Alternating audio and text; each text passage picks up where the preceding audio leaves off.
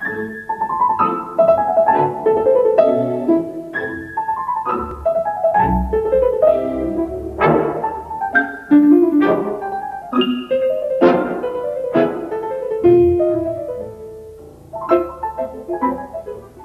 Teleakademie ist heute bei der Karl Friedrich von Siemens Stiftung in München. Professor Dr. Joseph Leo Körner lehrte Kunstgeschichte an der Harvard University, an der Universität Frankfurt am Main und am University College London. Seit 2004 ist er Professor für Kunstgeschichte am Courtauld Institute of Art der Universität London. Professor Dr. Joseph Leo Körner spricht zum Thema Hieronymus Boschs Feindschaft. Die Darbringungen der heiligen drei Könige waren für Hieronymus Bosch die, eine ideale Gelegenheit, seine Kunstwertigkeit zur Schau zu stellen. Als Schöpfer sonderbarer Gebilde hatte Bosch früheren Ruhm erlangt. Seine erste öffentliche Fürsprecher, Verliebte Gebade, äh, bemerkte 1560, dass, Zitat, Betrachter beim Anblick einer monströsen Erscheinung in einem Gemälde dieser sofort Hieronymus Boss zuschreiben und ihn so zum Erfinder von Ungeheuren und Chimären machen. Endzitat. Diese Auffassung würde einige Jahre später von Ludovico Guicciardini, einem florentinischen Reisenden, bekräftigt. Diese beschrieb Bosch als, Zitat, den nobelsten und bewundernswertesten Erfinder fantastischer und bizarrer Dinge. End Zitat. Die Gaben der heiligen drei Könige waren prototypische Wunderlichkeiten, eindeutig von außerhalb, von ein Randzonen der Erdkugel stammende Objekte. Hier ein fabelhafter Globus in Bosches Epiphanie-Triptychon heute in Prado. In der kurzen biblischen Erzählung, Zitat, führen die heilige drei Könige ihre Schätze vor und bringe ihm Gaben dar. Gold, Weihrauch und Möhre. Lange vor Bosch hat der Künstler diese Spenden in exotische Weise dargestellt, in inneren oder in Gestalt kurioser Kunstgegenstände. Diese Verfremdung erstreckte sich auch auf deren Überbringer, die im, die im Evangelium knapp als Weise aus dem Osten beschrieben werden, die das andere verkörperten. Die einander fremde Magi waren auch Fremde für das Kind, das sie anbeteten. Christus wurde zum Sohn Davids und Sohn Abrahams ausgerufen. Er war einer von Gottes auserwählten Volk, dem Juden. Die heiligen drei Könige, die nach, Bethlehem, Königs äh, König Davids Geburtsort angereist waren, ihn anzubeten, sie waren anders. In Latein Gentiles, in Griechisch Ethnikoi, in Hebräisch Goyim standen die Könige für alle nicht auserwählten Völker. Christus war als Jude zur Welt gekommen. Aus jüdischer Sicht repräsentierten die Magi den unheimlichen anderen in der Mehrzahl ohne erkennbarer Platz in Gottes Bund. Indes waren es jedoch diese Fremde und nicht die Angehörige äh, seines eigenen Stammes, die Christus Majestät erkannten und einen Bund mit ihm schlossen. Die Gaben ihrerseits besiegelte diese neue Freundschaft mit jenen, die anders, andersfalls Feinde wären. Umgekehrt von seinem eigenen Volk erhielt Christus die feindliche Antwort, dem Tod. Als einziger Gott durch die Weisen aus dem Morgenland anerkannt, schloss Christus die Ethnikoi zu einem allumfassenden Ganzen zusammen. Dieser Humanismus begann mit einer Ausnahme. Christus war als Jude geboren, das Judentum hatte dem Christentum zufolge durch seine Geschichte und in Schrift, seinen Schriften die Geburt Christi angekündigt, durch den Bund mit dem einen Gott hatte die Juden auch Anteil an der Ausformung eines universalen Charakters, Christus Gottheit. Indem äh, sie ihn jedoch nicht als solche erkannten, entpuppten sich die Angehörigen dieses zuvor auserwählten Volkes als letzte hartnäckige Anhänger eines Kultes. In seinem Gemälde unterstreicht Bosch diesen Restbestand an Geheimnisvollen. Zwischen den zwei vorderen Königen und Christus, im Schatten einer morschen Hütte, ragt der Kopf eines Esels hervor, auf Jesus weisend. Es handelt sich hier um ein in Geburtsszenen häufig dargestelltes Tier, das auf Isaias erste Prophezeiung anspielt. Zitat.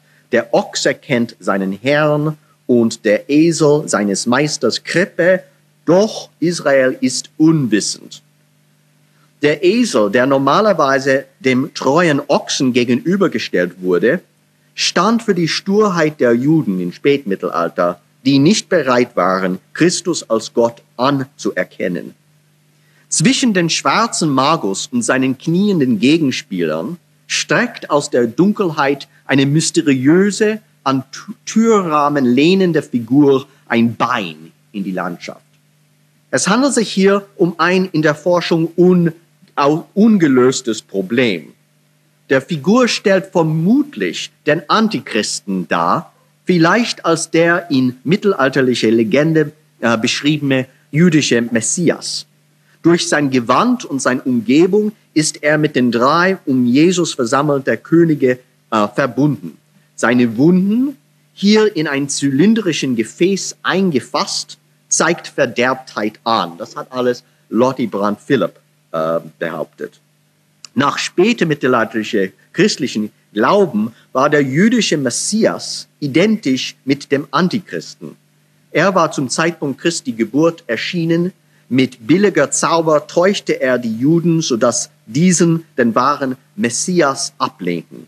Statt Christus, statt Christus beteten sie nun ihn an, wofür sie schließlich bestraft wurden. Es gibt überhaupt keinen Konsens über die Identität dieser Figur in Bosches Gemälde. Ernst Gombrich identifizierte ihn mit Herodes, Lorinde Dixon mit einer Personifikation von Saturn. Meiner Ansicht nach ist er eher als das absichtlich unergründliche Böse zu verstehen. Er steht zu den drei Weisen wie Feind zu Freund. Seine Absichten sowie die Symbole seines Gewands sind absichtlich rätselhaft. Eine Verschwörung im Gegensatz zum öffentlichen Bekenntnis der Könige, ein Kult gegenübergestellt der offenbarten Religion. In Bosches Gemälde steht der Feind nun sichtbar an der Schwelle zum Licht. Apiphanie kommt aus dem griechischen Phanein, zeigen, welches sich wiederum ableitet von Phaos, Licht. Voragine erklärt, dass Christus Erscheinung die Heiden ans Licht brachte und ihrem Geist erleuchtete. Und sie brachten als Phänomene jene ans Licht, die zuvor unsichtbar waren. Das Bild des schwarzen Magus, üblicherweise Kaspar genannt, könnte diese Bewegung hin zum Sichtbaren vor Auge führen. Die große afrikanische König ist eine von Bosches eindrucksvollste Schöpfungen. In weiß gekleidet wird Kaspar als ethnografische Epiphanie inszeniert. Europas Fantasievorstellung von Afrika als Faktum. Bosch stellt den Afrikaner, einer Konvention folgend, hinter eine Grenze. Und am Rande, um am Rande dieser Grenze, in einem mysteriösen kultischen Inneren, steht auch der vermeintliche Antichrist. Ein fahler Körper im Dunklen verkehrt er, äh, verkehrt er die Verwandlung von Dunkelheit zu Licht. Zu beobachten ist sein sonnengebranntes Gesicht, die ein Allergie gegen Licht nahe liegt. Obwohl die drei Könige ihrem Kult entsagen, bleiben sie für Bosch noch immer Gesandten fremder Kulturen. Fremdheit an sich ist das hervorstehende Merkmal in Bosches Kunst in allgemein und in seiner Epiphanie in, insbesondere. Und im Prado-Triptychon sind die Gaben unergründlich und sonderbar. Bemerken Sie bitte genauer Melchors Gold. Es erzählt eine mit jener von Abraham und Isaac vergleichbare oder gar identische, jedoch in einem fremden Schrift überlieferte Geschichte. Und so soll es auch sein.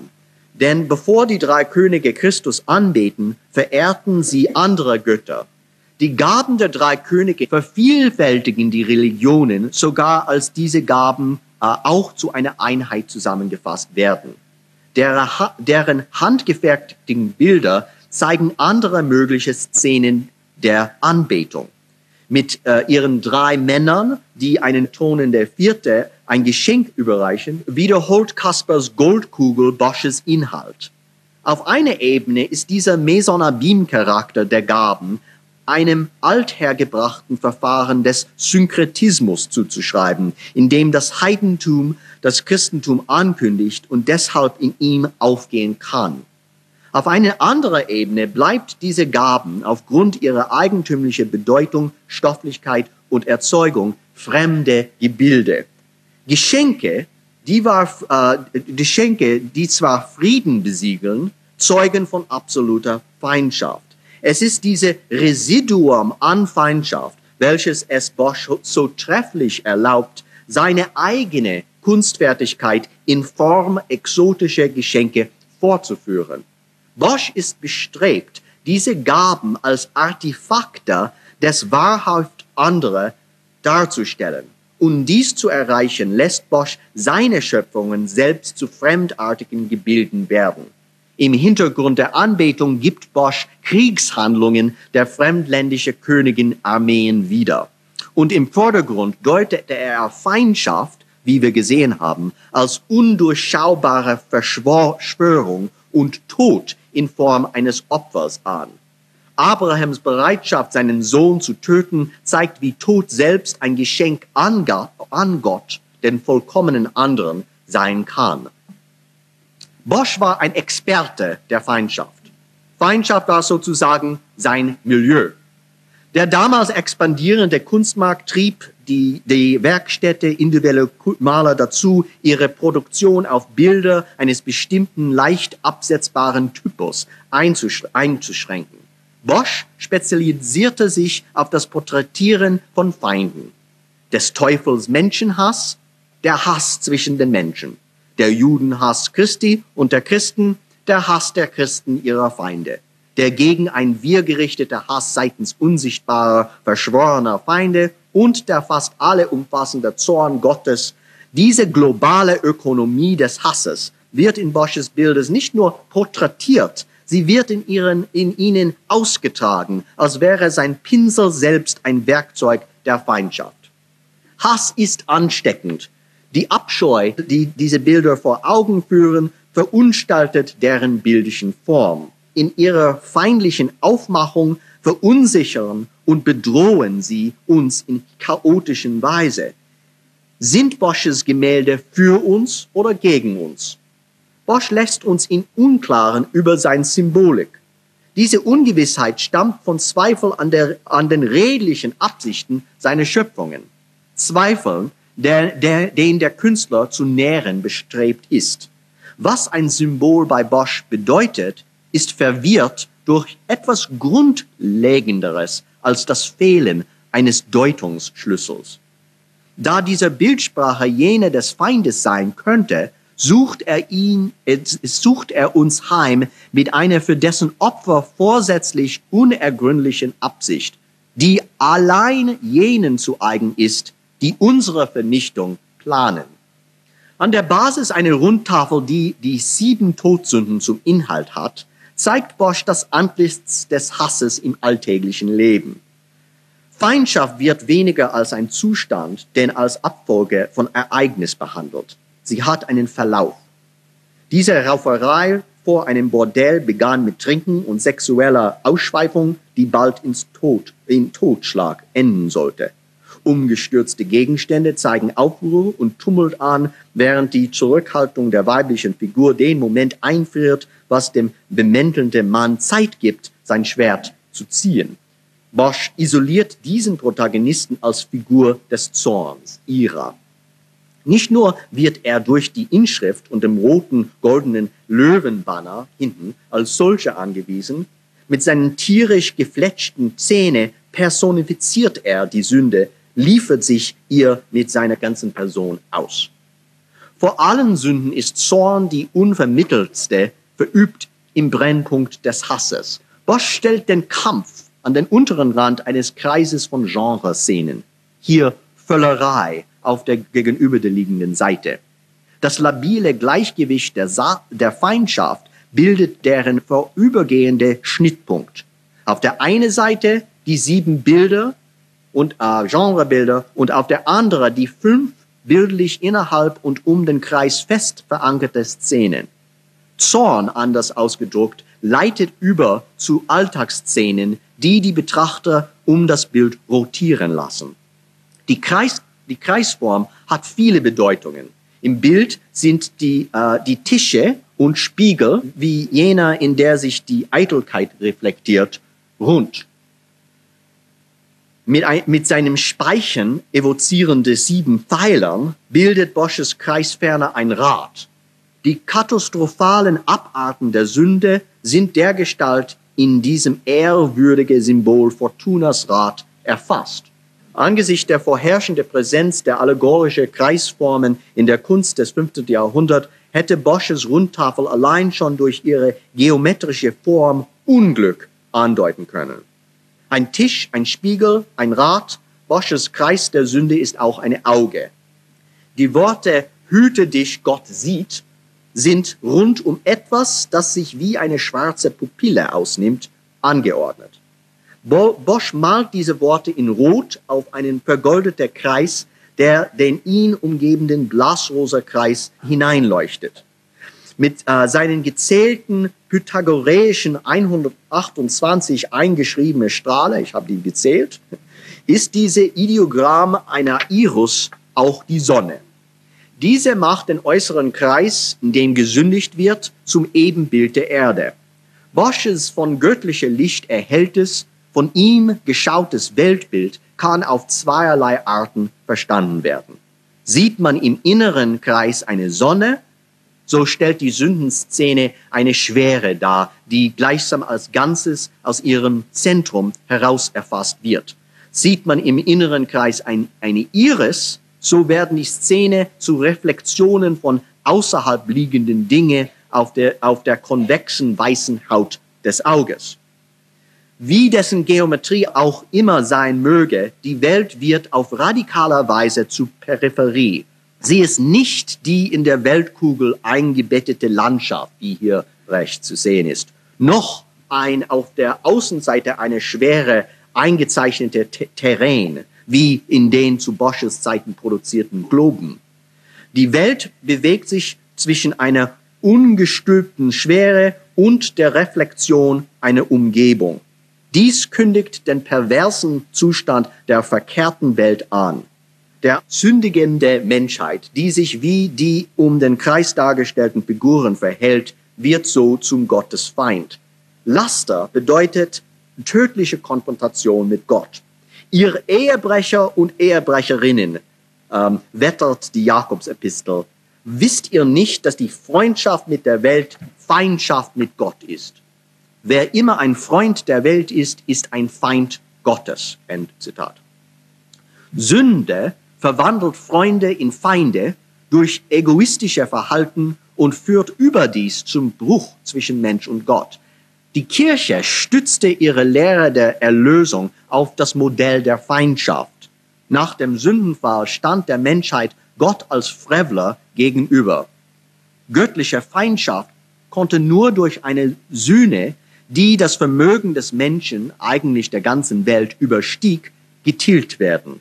Nur Gott selbst konnte diese Wiedergutmachung leisten, was er in der Gestalt Christi tat. Christus flehte seinen Vater an, der Menschheit, Christus eigener Rasse, durch seinen sündenfreien Tod eine unendliche Gegenschuld zu, zu billigen. Er galt Quantität durch Qualität seines unverdienten Todes ab. Frieden war dank des Geschenkes seines Leibes dann wiederhergestellt. Bosches sieben Todsünden stellt beide äh, Bewegungen dar. Die Tafel zeigt die Sünde des Menschen gegenüber Gott und Christi Sühne dafür.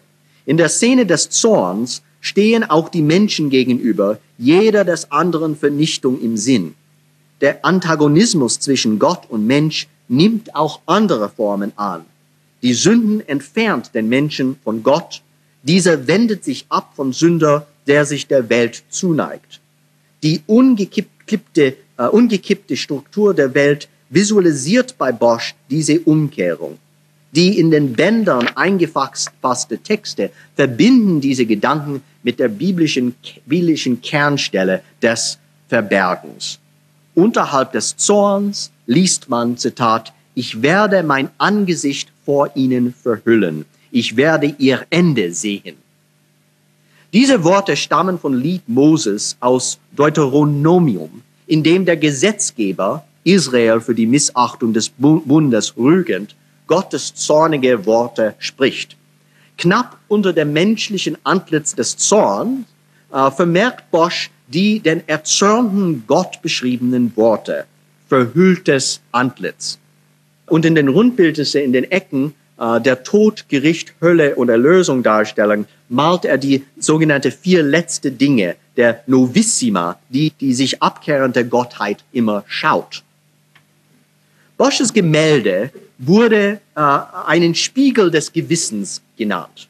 1605 berichtete der Bibliothekar des Escorials, Joseph de Segentha, dass äh, Philipp II. das Bild in sein Schlafzimmer, äh, Schlafzimmer hing, als Spiegel, um ihn an seine Sünden zu erinnern.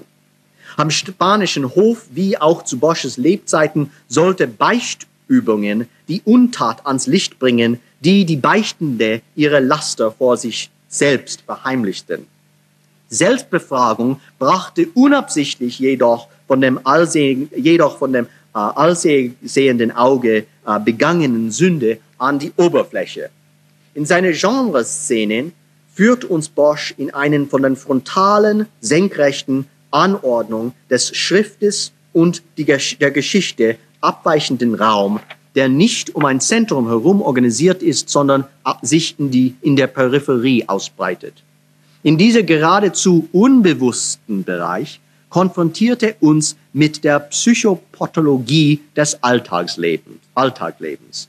Historisch gesehen beginnt hier die europäische Genremalerei. Sie nimmt ihren Ausgang mit diesen Szenen des Alltags, die Bosches Bild als Ganzes verneint. Und doch offenbart dieses Tafel mehr als die verborgenen Inhalt des äh, Bewusstsein, Unbewusstseins. Sie ist sowohl Spiegel als auch Gewissen, da das Gewissen selbst reflektierend ist. Er erlaubt dem Subjekt zu einem Objekt für sich selbst zu werden, über sich zu reflektieren, sich selbst als reflektiv und reflektierend zu begründen. In freudischen Begriffen äh, konstituiert Bosches Tafel ein Über-Ich. Es erhebt den Anspruch, uns als bewusstes Subjekt zu formen, indem es uns seinen Blick unterwirft. Wobei Blick, wie bei Freud, Vater, Sprache, Geschichte und Gesetz bedeutet. Im Christentum ist Christus selbst das Modell dieser Unterwerfung, dieses Prozesses, sich einer Macht zu fügen, als auch zu einem Subjekt zu werden. Bosch zeigt das Leiden Christus als ein zweifaches, als dem Auge wahrgenommenes Objekt und als Auge, das sieht. Der verwundete Körper zeugt von völliger Ergebenheit, da Christus den Tod akzeptiert um das Gesetz zu erfüllen und für die Sünde der Menschheit, der er angehört, zu sühnen. Was ist jedoch die Grausamkeit zu klären, äh, die ihn heimsucht? Wenn äh, eine erste Definition folgend Gott eine Monade, Christus, erschaffen hat, um seine eigene Liebe in ihm wiederzuspiegeln, woher stammt dann dieses Universum der Feindschaft? Das ihn zu Fall brachte und ihn immer noch umgibt. Die Gästen der Schmerzensmann in der Bildmitte und von Christus als Weltrichter sind identisch. Gott ist ein Wesen, das straft und leidet. Er straft, weil er leidet und er leidet, weil er straft. Als religiöser Maler war Bosch zweierlei. Er war ein überragender Darsteller der Passion Christi und er war ein unübertroffener Maler von göttlicher Vergeltung. Er macht es zu seiner Spezialität, die aggressive Komponente der Religion seiner Zeit auszuschälen. Während andere Künstler seine Tradition visuelle Empathie mit Christus propagieren, nährt dieser Künstler Antipathie, Abneigung gegen der Welt, gegenüber dem Genuss, gegenüber sichtbaren und unsichtbaren Gegner. Bosches Feindschaft ist mehr als lediglich ein Repertoire an Motiven. Feindschaft bestimmt seine Kunst auf jeder Ebene, ist zugleich Struktur, Übung und Symbolik. Dieses Bild äh, gehörte gemeinsam mit den sieben Todsünden und andere Schlüsselwerke Bosches Philipp II. Obwohl es in früheren Verzeichnissen dem Meister zugeschrieben äh, wurde, ist es eine Kopie eines verlorenen Originals. Seite an Seite betrachtet aber besitzt es die gleiche Struktur wie die sieben Todsünden und nicht nur aufgrund des inneren kreisförmigen Rahmen. Beide Bilder zeigen Christus als Opfer, das zu 360 Grad von seinen Peinigern umringt wird. Besondere Beachtung verdient die Art und Weise, wie die Arme und Beine der Folterer Christus umschlingen. In beiden Tafeln erhebt sich Jesus aus, seinem, aus einem grauen Steinsack, dessen Rand wie ein niedriger Horizont wirkt. Bosches Ideogramm der Welt evozierend. Und in der Dunkelheit, die die beiden Rundtafeln umgeben, führen beide Bilder eine kosmische Arena vor.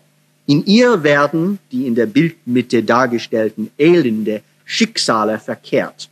Der konzentrische Wechsel zwischen Opfer und Aggressor kann in dieser, dieser oder jener Form in fast alle Arbeiten des Künstlers gefunden werden. Wie, weit, wie mehr als nur ein einfaches, weit mehr als nur ein einfaches Motiv begründet er die Tiefenstruktur seiner Bilder. Das Subjekt ist bei Bosch ein Opfer, wobei ich mit Subjekt das Bildthema des Bildes meine und zugleich die Subjektivität, die das Bild impliziert indem er Subjekte verführt, vorführt, äh, die von Bösen, dass, die, äh, dass sie erleiden, umringt sind, schafft Bosch eine durch und durch ethische Kunst, insofern als Ethik den Menschen definiert als Wesen, das fähig ist, sich selbst als Opfer zu erkennen. Wir haben diese Struktur der Viktimisierung, in der der historische und liturgische Körper Christi denn von Feinden um, umringt erscheint, schon untersucht. In seiner fortwährenden Auseinandersetzung mit dem Menschen opfert sich Jesus, indem er sein Leiden annimmt. Aus Zeitgründen kann ich auf die historische Umstände von Bosches Feindschaft nicht weiter eingehen. Ich möchte dazu nur kurz anmerken, dass in der jüdisch-christlichen Kultur die Geschichte selbst ein Chronik der Opfer ist. Das Leiden Christi nimmt die Position Israels ein, die von Feinden umringt ist. Aber am Vorabend der Reformation war die Angst vor einem, Welt, äh, einem weltweit unheilbringenden Feind besonders ausgeprägt. Bosches so lebhaft vorgestellte Endzeiten wurde von einer Kultur hervorgebracht, die sich selbst in einem permanenten Kriegeszustand erlebte.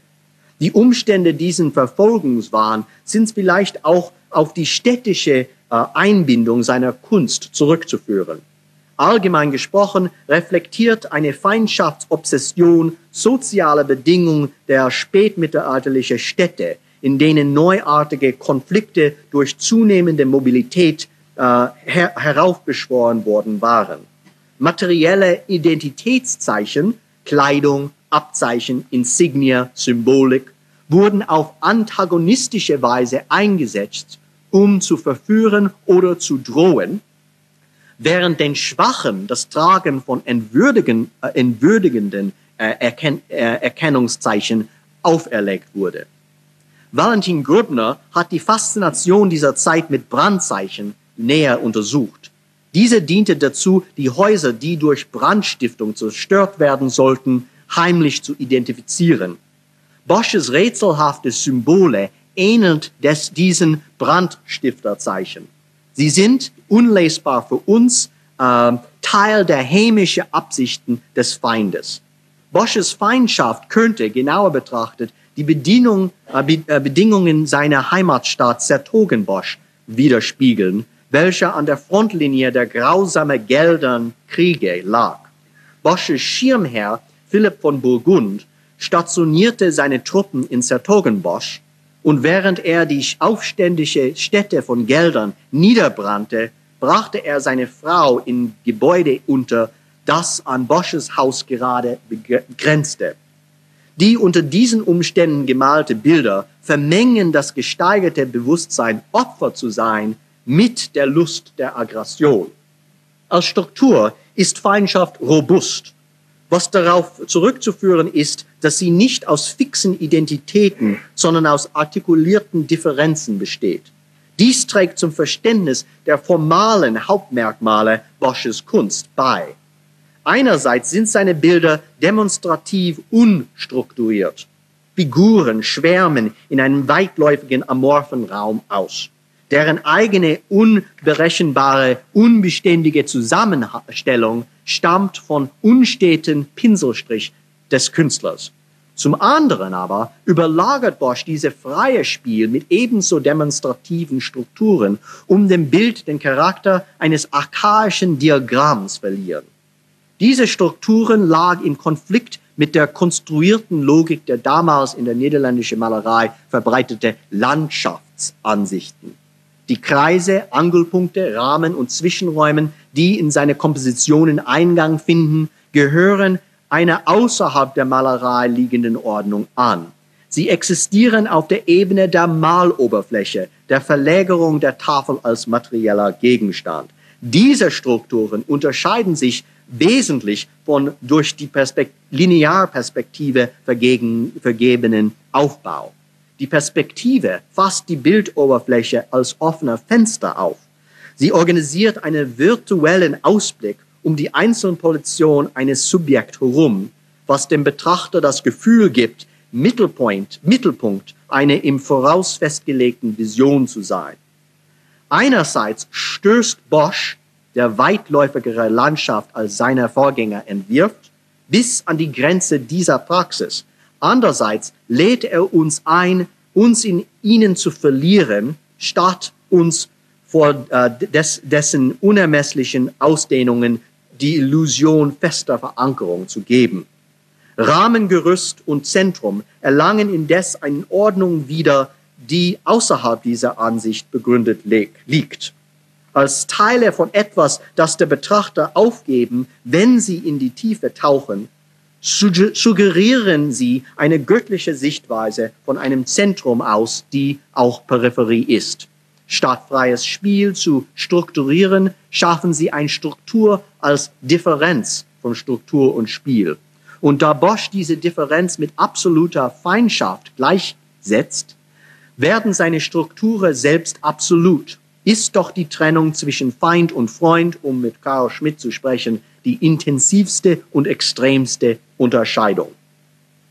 Feindschaft ist bei Bosch die Matrix jeglicher Struktur. Als solche kann sie variabel und sogar antagonistische Kompositionen erzeugen. Meistens etabliert der Künstler ein Zentrum, verliert ihm ein, einen positiven Wert und bevölkert es mit von allen Seiten eindringenden Feinden. In der Heimsuchung äh, des heiligen Antonius rechts in Lissabon wird äh, der Einsiedler derart von teuflischen Elementen bedrängt, dass der Betrachter ihn nur mit Mühe auszumachen vermag. Positives wurde äh, auf einen minimalen Farbfleck reduziert, auf das geometrische Zentrum des Tryptychon auf, aufgesetzt, strukturiert Antonius äh, nach außen gerichtete Auge das Bild nicht desto weniger. Doch Bosch kann auch die, das genaue Gegenteil machen und einen Feind ins Zentrum stellen. In der Hölle des Garten der Lüste äh, nimmt der mächtige Baummensch eine Antonius vergleichbare Haltung ein und blickt ebenso nach rückwärts.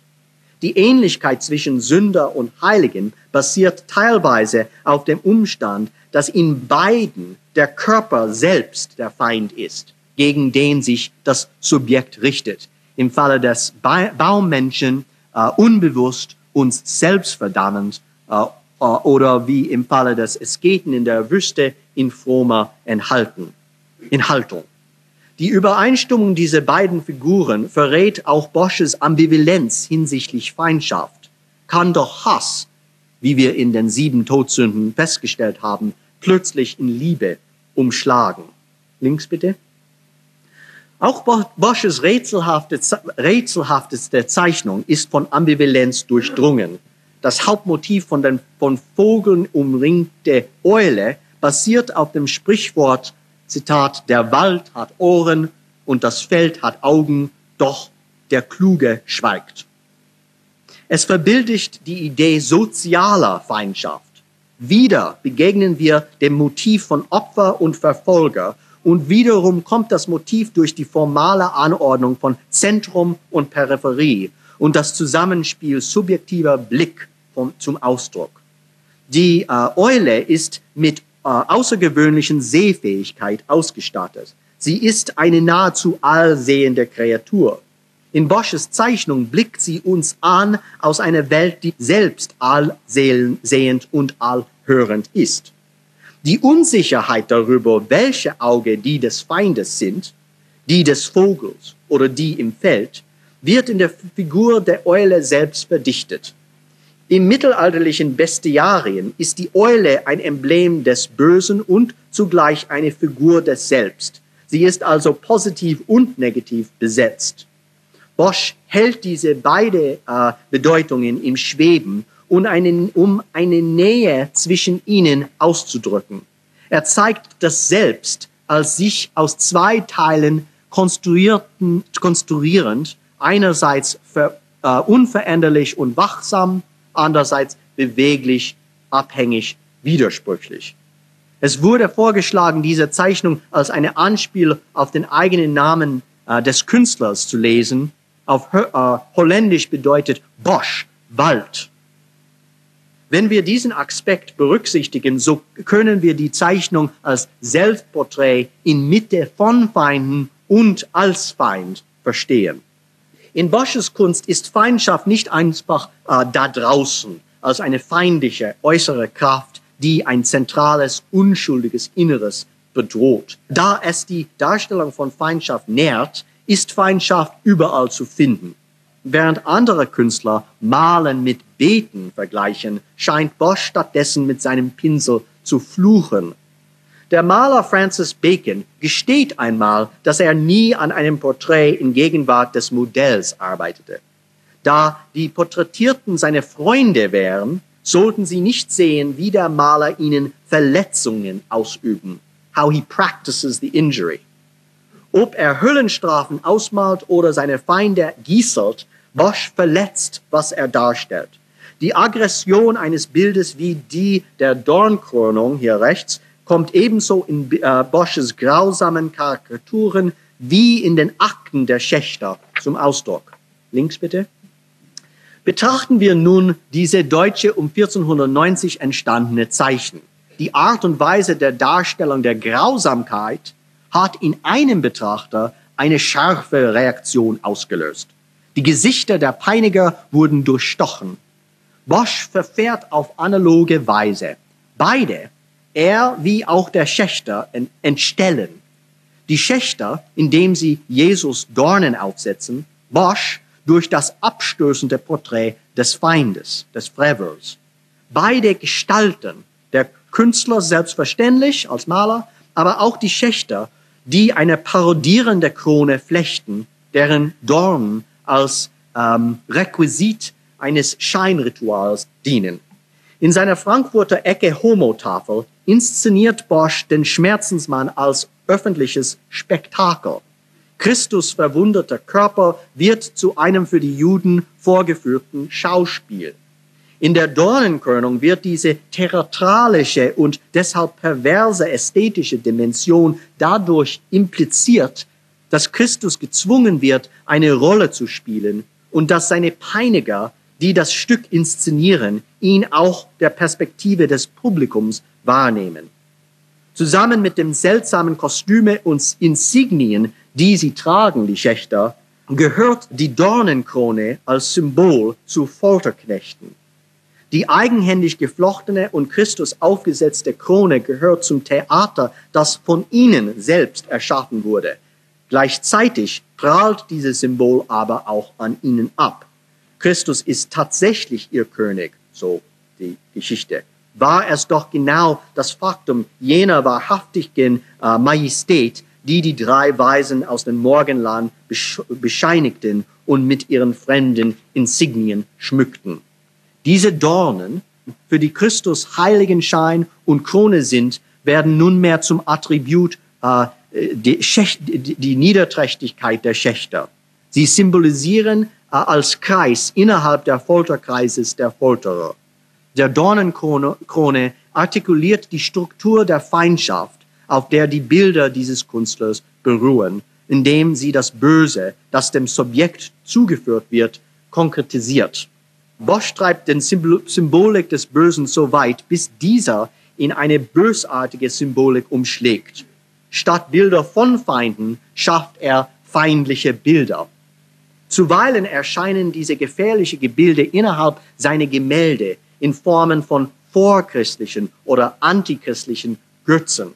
Doch mitunter sind es seine eigenen Bilder, die bis heute unergründlich ge geblieben sind.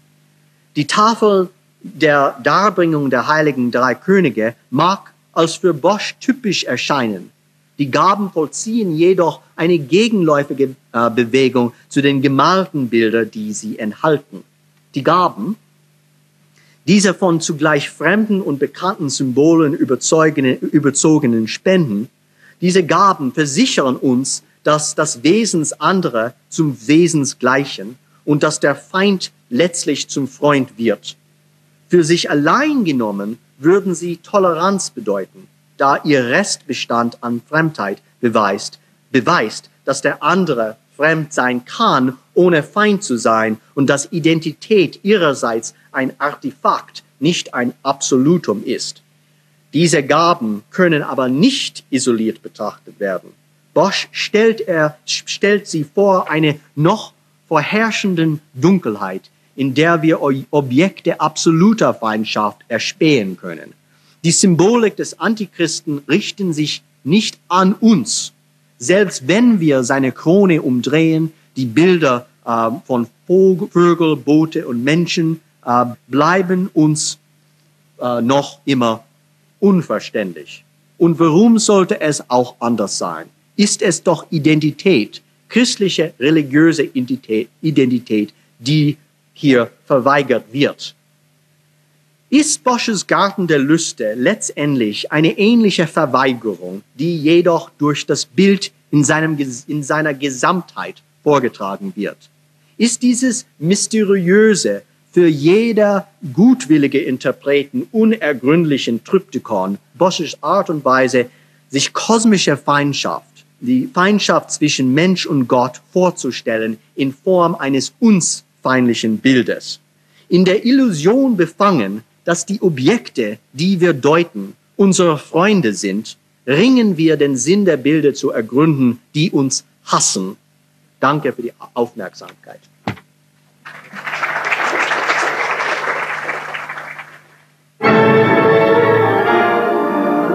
Die Teleakademie war heute bei der Karl Friedrich von Siemens Stiftung in München. Es sprach Professor Dr. Joseph Leo Körner zum Thema Hieronymus Boschs Feindschaft.